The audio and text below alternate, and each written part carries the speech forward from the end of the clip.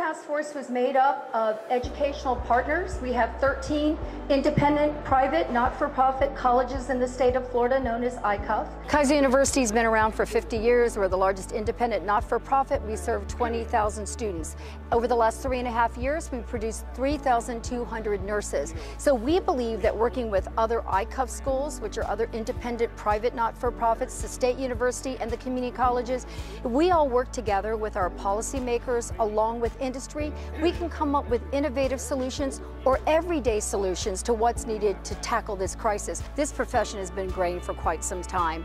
And you've heard the data. Uh, Florida's going to be short by 2030 60,000 nurses. We're looking for uh, greater assistance on, on housing. We're looking at uh, tuition reimbursement you know, programs as a possibility.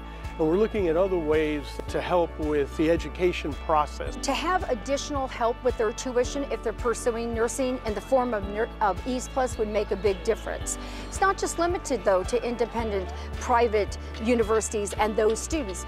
In community colleges, state universities, we need to look at those workforce shortages and we need to make sure that additional funding follows the student to help them with their their needs. We need uh, to make sure that young nurses are able to put roots down and that we're not just creating, educating nurses that are going to go to out of state. 30% of healthcare workers have kids under the age of 14.